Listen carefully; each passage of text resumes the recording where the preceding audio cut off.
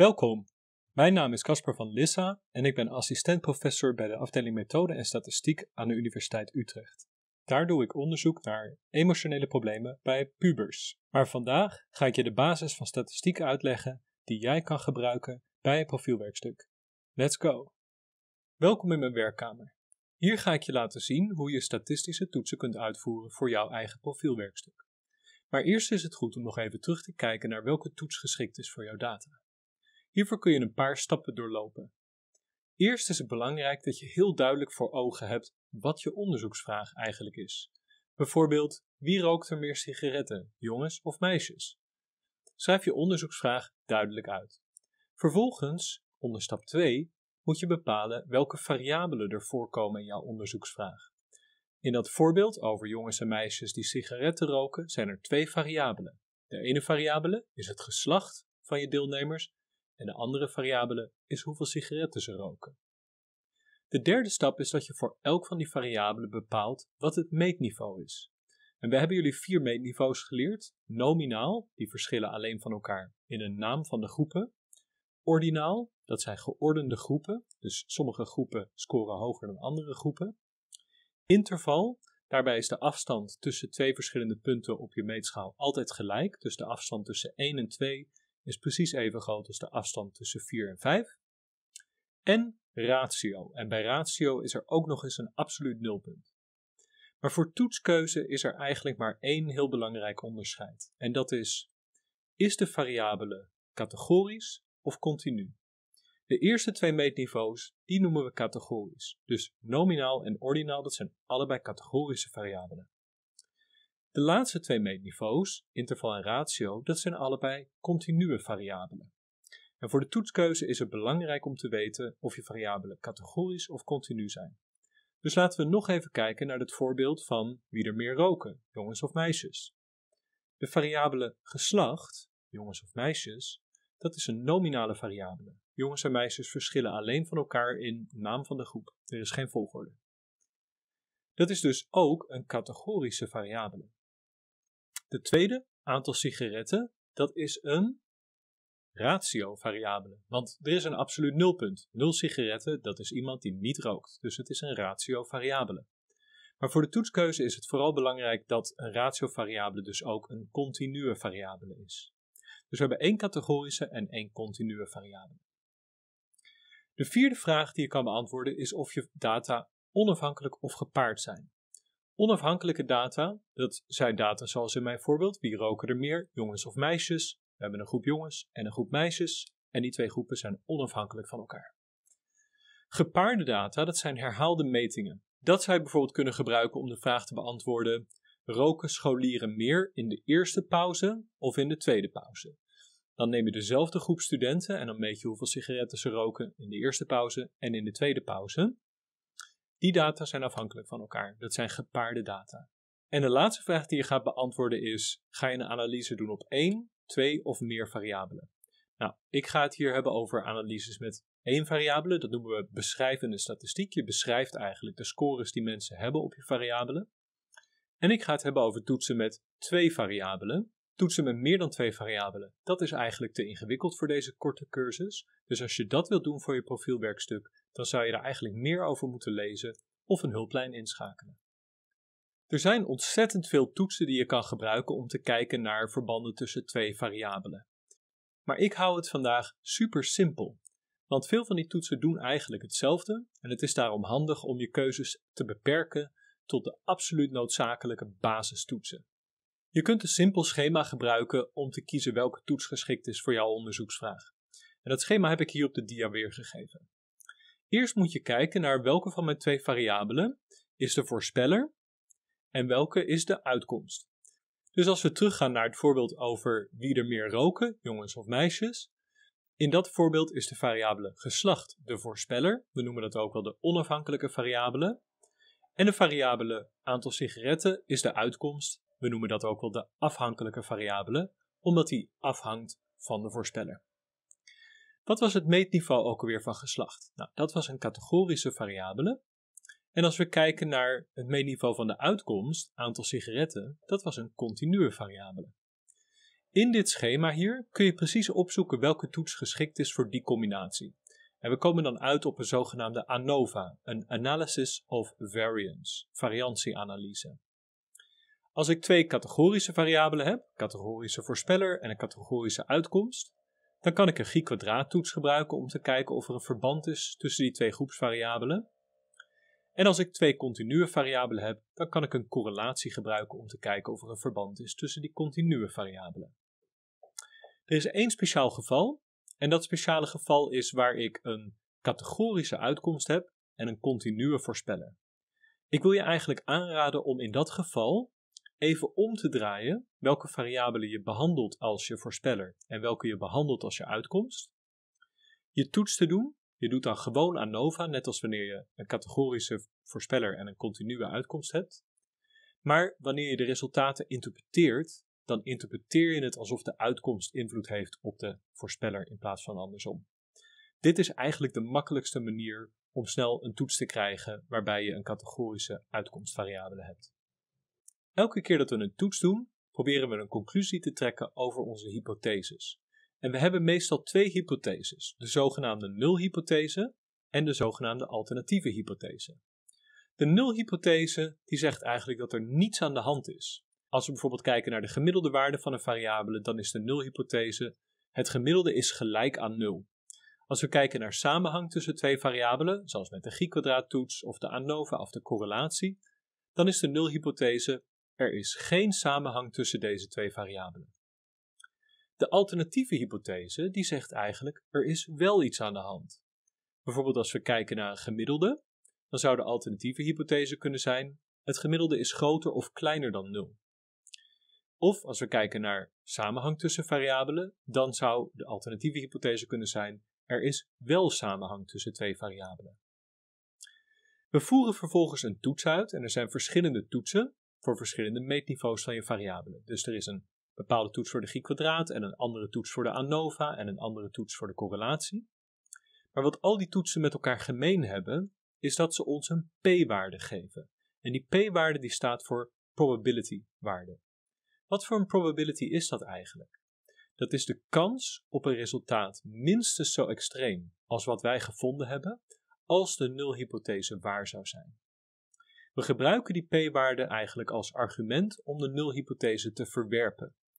Als die p-waarde heel klein is, dan concluderen we dat de nulhypothese waarschijnlijk niet waar is en dan verwerpen we de nulhypothese en we trekken de conclusie dat er waarschijnlijk wel iets aan de hand is, dus dat de alternatieve hypothese aannemelijker is. Om de logica hierachter te begrijpen, wil ik jullie een plaatje laten zien. Stel je voor dat we een onderzoekje gaan doen om de gemiddelde lengte van Nederlanders te bepalen. Voordat we het onderzoekje hebben gedaan, weten we nog niet wat de werkelijke gemiddelde lengte van Nederlanders is. We gaan voor ons onderzoekje een steekproef trekken van 10 Nederlanders. Hier zie je een verdeling. Deze is ook wel bekend als de standaard normaalverdeling. En in het midden van die verdeling ligt de werkelijke gemiddelde lengte van alle Nederlanders. Als ik 10 willekeurige Nederlanders uit de populatie trek, dan kan het zijn dat die 10 Nederlanders toevallig gemiddeld net iets lager zijn dan de werkelijke waarde in de populatie. Dus dan kom ik ongeveer hier uit. Het kan ook zijn dat ik pech heb en dat ik een groepje hele kleine Nederlanders trek. Dus dat ik ver onder de gemiddelde waarde in de werkelijke populatie terechtkom. Maar het kan ook zijn dat ik toevallig een paar jongens of meiden uit een basketbal-elftal erbij trek en dat mijn steekproef een stuk hoger uitvalt dan de werkelijke gemiddelde lengte van de Nederlanders. En wat je eigenlijk zal zien, stel je voor dat je duizend keer zo'n onderzoekje uitvoert. Wat je zal zien is dat de meeste van die steekproeven uitkomen met een gemiddelde lengte die best wel in de buurt ligt van het werkelijke gemiddelde lengte van alle Nederlanders.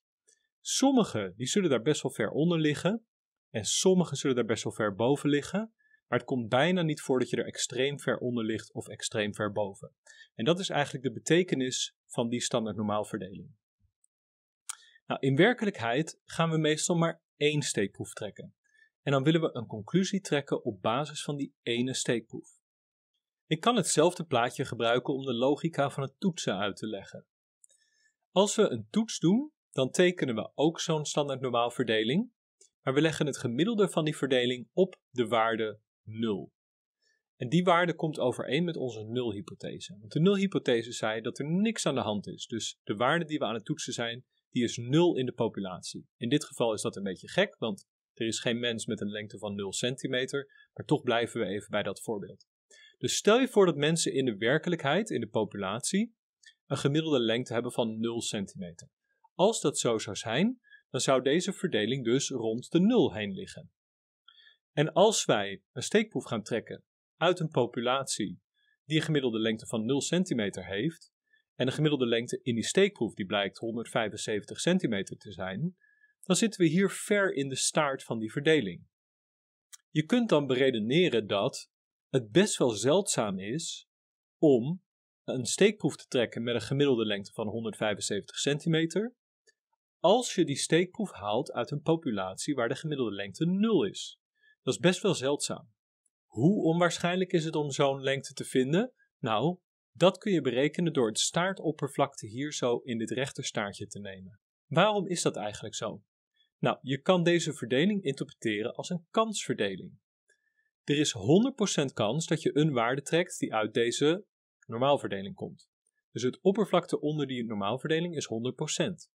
Je ziet ook dat 50% van die normaalverdeling onder het gemiddelde ligt en 50% van die normaalverdeling ligt boven het gemiddelde. En op dezelfde manier kan je uitrekenen hoeveel procent er in dit rechter staartje zit. Daar gebruiken we computers voor, maar die computer die kan het voor ons uitrekenen.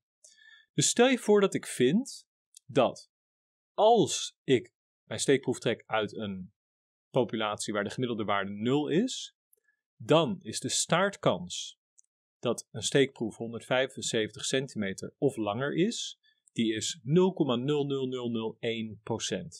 Dat is best wel een kleine kans. Zo'n kleine kans dat ik ga twijfelen aan de vraag of de werkelijke gemiddelde waarde van die populatie wel 0 is. Dat is de logica van het hypothese toetsen.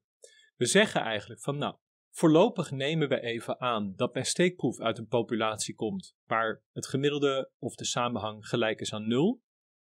Dan kijk ik hoe groot het gemiddelde of de samenhang is in die steekproef.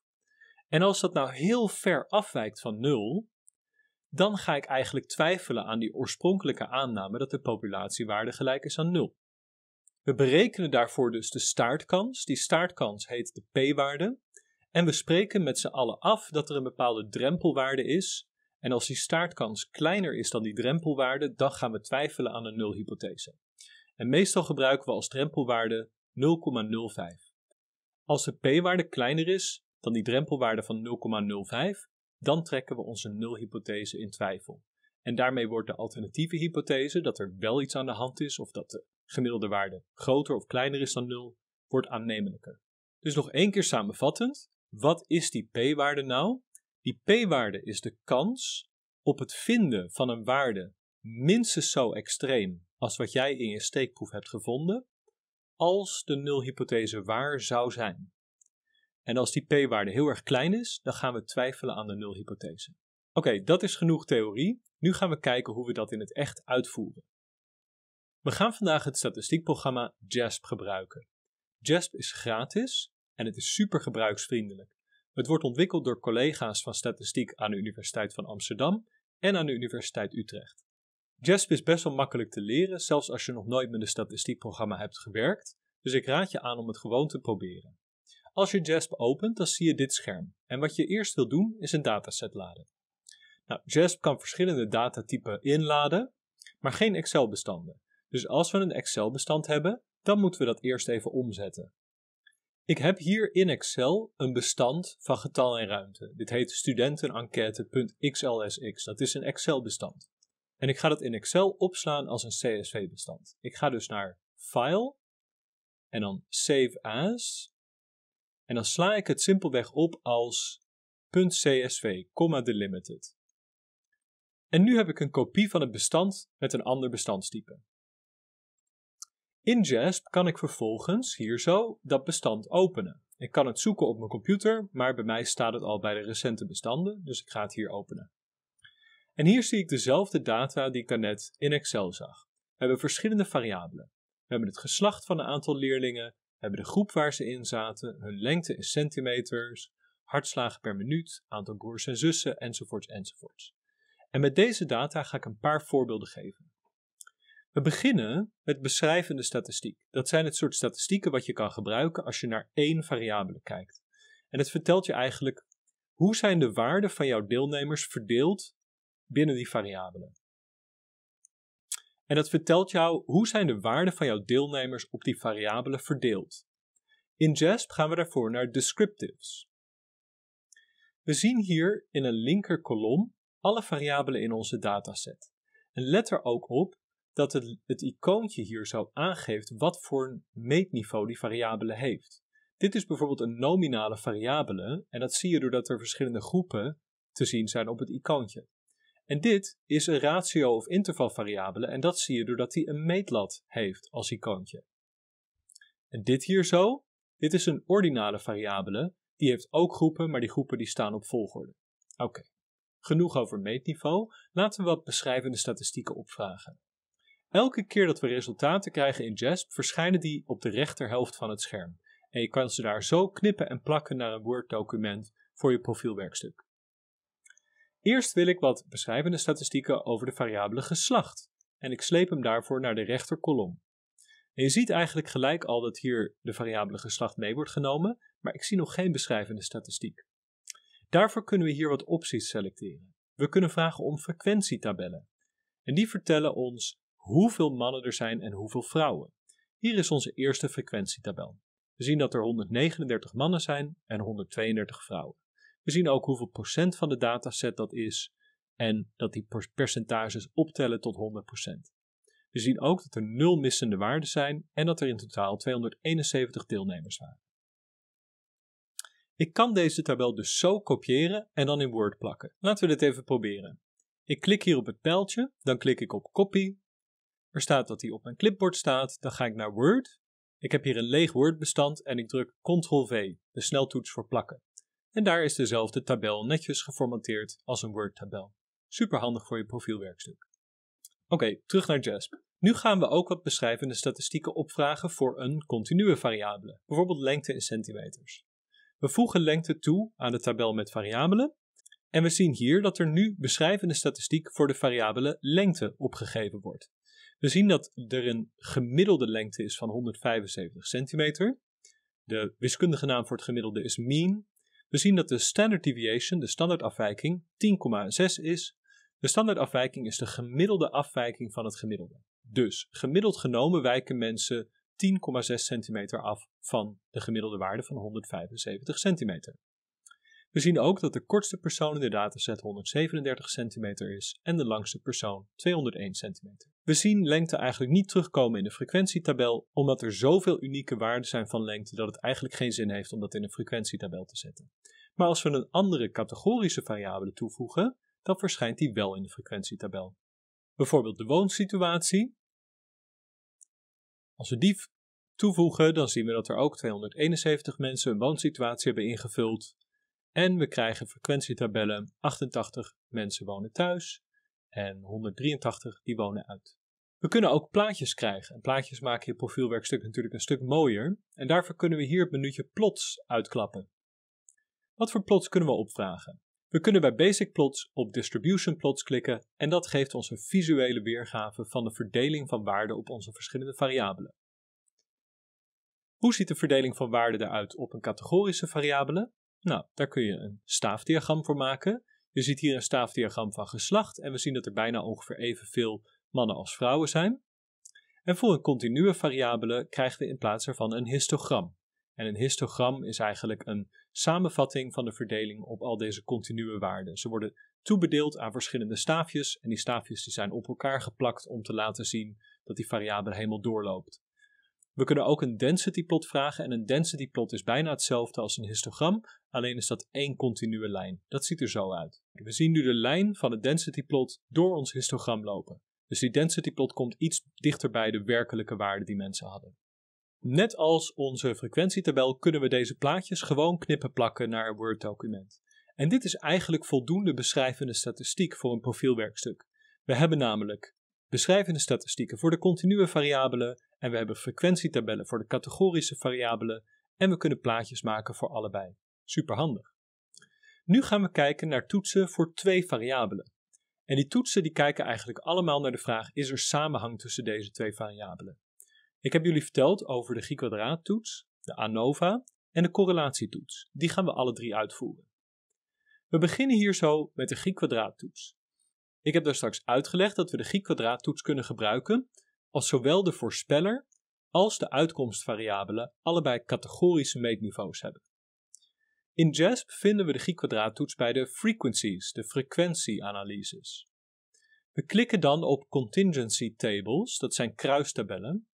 En een kruistabel is net zoiets als een frequentietabel, maar dan zijn er twee variabelen tegen elkaar afgezet. Ik maak even alle resultaten leeg, zodat we weer met een schone lei kunnen beginnen. Daarvoor klik ik naast Results, Remove All. Ja, alles mag weg. Zo, dan gaan we naar die kruistabel. En we willen nu een verband onderzoeken tussen twee categorische variabelen. Nou, laten we ze even kiezen in het lijstje hier zo. Ik ben eigenlijk best wel benieuwd of er een verband is tussen geslacht en woonsituatie.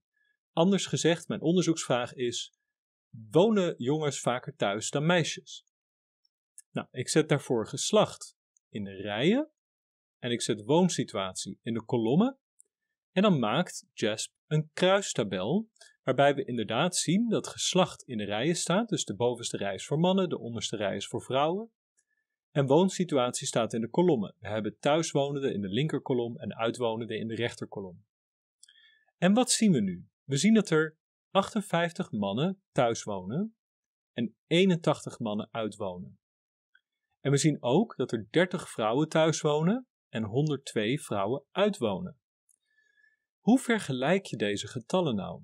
Nou, als er geen verband zou zijn tussen de variabele geslacht en de variabele woonsituatie, dan zou het aantal mannen dus gelijkwaardig verdeeld moeten zijn over de woonsituaties en het aantal vrouwen ook.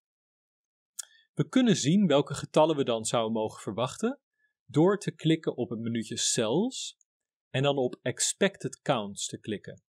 En de expected counts vertellen ons hoeveel mensen zouden er in elk van de cellen van die kruistabel moeten zitten als er geen verband is tussen geslacht en woonsituatie.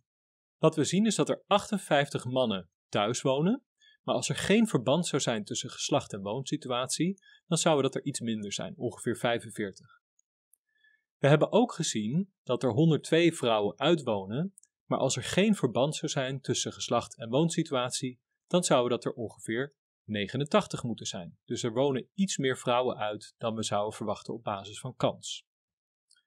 Maar de grote vraag is natuurlijk: is er een significant verband tussen geslacht en woonsituatie? En daarvoor gaan we een toets berekenen en een p-waarde. De toets die we gebruiken voor een verband tussen twee categorische variabelen is de G-kwadraattoets. En die G-kwadraattoets die staat er gelijk al onder. Die G-kwadraattoets die heeft een waarde, namelijk 11,15. Hij heeft ook een aantal vrijheidsgraden. In deze cursus ga ik niet uitleggen wat dat betekent, maar het is wel goed als je hem rapporteert in je profielwerkstuk. En we krijgen een p-waarde en die p-waarde is zelfs kleiner dan 0,001, dus die is super klein. Denk even terug aan de interpretatie van de p-waarde. Die p-waarde is de kans op het vinden van dit verband tussen geslacht en woonsituatie als er in werkelijkheid geen verband zou zijn tussen die twee. En de kans dat je zulke grote verschillen tussen de geobserveerde en de expected aantallen in deze tabel zou vinden, is super klein als er in werkelijkheid geen verband is. Dus ga ik twijfelen aan mijn nulhypothese dat er geen verband is. Het is dus aannemelijk dat er wel een verband is tussen geslacht en woonsituatie. Met andere woorden, het verband is significant. We hebben onze eerste toets uitgevoerd en we hebben gevonden dat er een significant verband is tussen het geslacht van een leerling en zijn of haar woonsituatie. Nu gaan we naar de volgende situatie, waar je een continue uitkomstvariabele hebt en een categorische voorspeller. Hiervoor gaan we naar het menuutje ANOVA. We gaan een klassieke ANOVA uitvoeren. Laten we hiervoor kijken naar een super simpel voorbeeld dat iedereen zich voor kan stellen. Wie zijn er langer, jongens of meisjes? We kunnen hiervoor geslacht als voorspeller aangeven, dat heet bij een ANOVA een fixed factor. En we kunnen lengte als afhankelijke variabele aangeven, de dependent variable. Het is daarbij ook wel handig om gelijk te vragen om descriptive statistics, zodat we de gemiddelde lengte van jongens en meisjes ook te zien krijgen. Laten we even kijken naar de resultaten. Ik begin bij de descriptives. We zien dat de gemiddelde lengte van jongens 182 centimeter is en de gemiddelde lengte van meisjes 168,4 centimeter.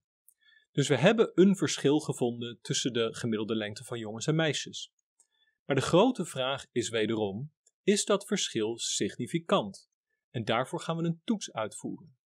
Bij de ANOVA heet die toets de F-toets en we zien de waarde van die F-toets hier zo.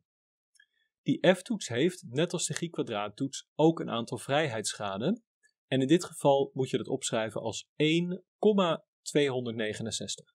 Dus je schrijft ze allebei op in je profielwerkstuk.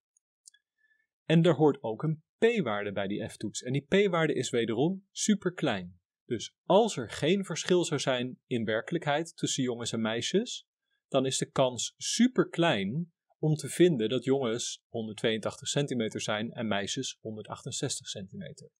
Met andere woorden, we hebben een significant verschil gevonden tussen de lengte van jongens en de lengte van meisjes. Ik heb jullie ook verteld dat als je de situatie hebt waar je voorspeller continu is en je uitkomst categorisch, dat het eigenlijk ook het makkelijkste is om daarvoor een ANOVA te gebruiken. En je draait dan gewoon de voorspeller en de uitkomst om. Stel je bijvoorbeeld voor dat mijn theorie zegt dat mensen die minder slapen vaker roken, omdat als je slecht geslapen hebt, je misschien jezelf een beetje wilt oppeppen. Nou, de voorspeller hier is het aantal uren slaap. En dat heeft een effect op of iemand rookt of niet.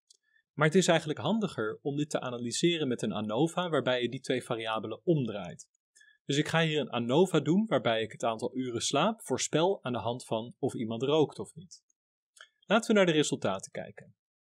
Ik zie hier dat de p-waarde 0,92 is. Dus het is een hele grote p-waarde. Ik zie ook dat er eigenlijk geen verschil is in uren slaap tussen mensen die wel roken en mensen die niet roken. Dus mijn conclusie is dat er geen significant verband is tussen of iemand rookt en hoeveel uren die persoon slaapt. Maar ik mag dit dus interpreteren als het aantal uren dat iemand slaapt heeft geen significant effect op of die persoon rookt, ja of nee. Dus ik mag de interpretatie ook weer omdraaien. Goed, dat was de ANOVA. Nu gaan we kijken naar een verband tussen twee continue variabelen. En daarvoor gaan we de correlatie gebruiken. We vinden de correlatie in het menuutje onder regressie en dan is het de eerste optie hier, correlatie.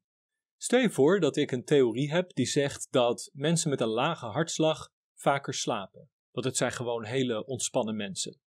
Ik ga dus kijken of er samenhang is tussen die twee variabelen. Ik kan daarvoor de variabele hartslag en de variabele uren slaap allebei hier in het lijstje met variabelen plaatsen. En ik ga een aantal opties aanklikken. De eerste optie die ik aanklik hier is Pearson's R. En Pearson's R dat is de wetenschappelijke naam voor een correlatie. Verder wil ik een plotje zien. Ik wil een zogenaamde scatterplot zien. En een scatterplot dat is een plaatje dat ons laat zien of er een verband is tussen twee variabelen. Ik klik daarbij gelijk deze twee opties aan. Ik wil density plot voor de afzonderlijke variabelen zien en ik wil de statistiek van de correlatie zien. Laten we even kijken naar de resultaten van deze correlatieanalyse. Ik heb hier de correlatie tussen uren slaap en hartslag in slagen per minuut.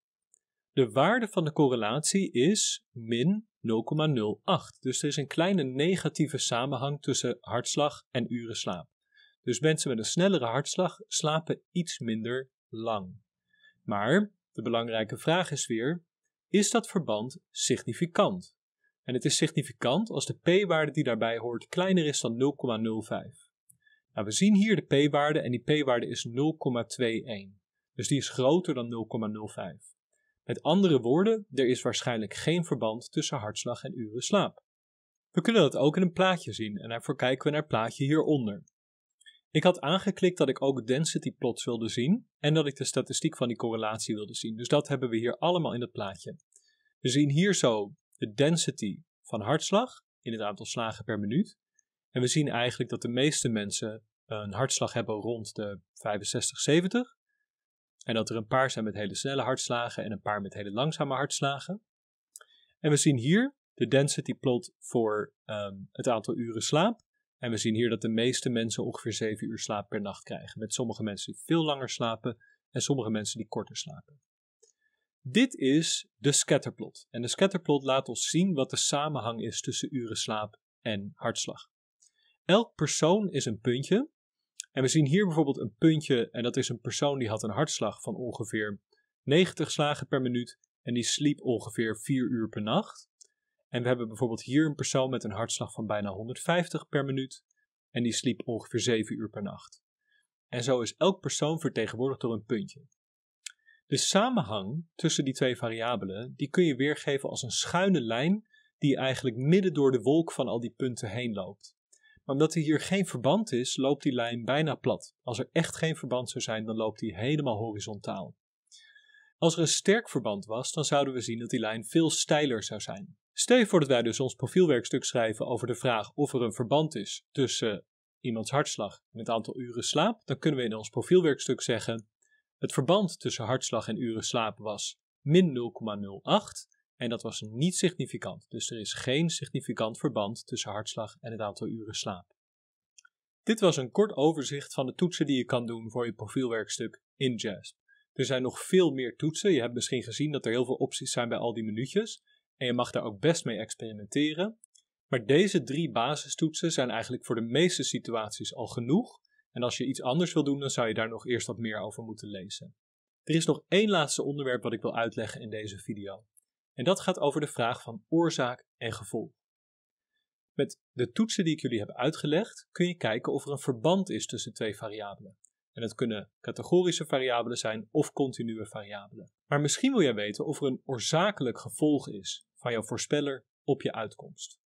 Op die vraag kan je statistiek eigenlijk nooit antwoord geven. Er zijn twee manieren waarop je kan beargumenteren dat het verband dat jij gevonden hebt ook een oorzakelijk verband is. En de eerste manier is door de experimentele methode toe te passen. Dat betekent dat jij twee groepen proefpersonen maakt en je verdeelt mensen willekeurig over die twee groepen en je geeft de ene groep een andere behandeling dan de andere groep.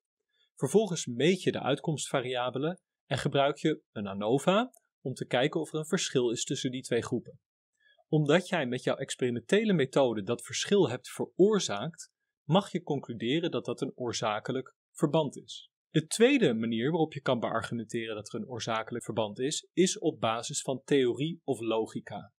Bijvoorbeeld, als we kijken naar of er een verband is tussen geslacht en of iemand rookt of niet, dan kunnen we beargumenteren dat iemands biologische geslacht al bij de geboorte bepaald is en dat het verband dus wel oorzakelijk moet zijn, want het kan niet zo zijn dat hoeveel iemand rookt later dat geslacht gaat beïnvloeden. Dus het moet andersom lopen. Of bijvoorbeeld als we kijken naar verband tussen geslacht en of iemand uit of thuis woont, dan zouden we kunnen beargumenteren dat de theorie zegt dat vrouwen iets vroeger volwassen zijn dan mannen en dat het daarom aannemelijk is dat er een oorzakelijke reden is waarom vrouwen eerder uit huis gaan wonen dan mannen. Dus de eerste manier om aan te tonen dat er een oorzakelijk verband is, is door de experimentele methode te gebruiken. En de tweede manier om aan te tonen dat er een oorzakelijk verband is, is door te beargumenteren op basis van logica of theorie. En natuurlijk kunnen andere mensen het met jouw theorie oneens zijn. En dat kan je zetten in de discussiesectie van jouw profielwerkstuk. Goed, dat is alles wat ik jullie wilde uitleggen over statistiek vandaag. Kijk deze video rustig terug wanneer je met je eigen profielwerkstuk bezig bent en veel succes!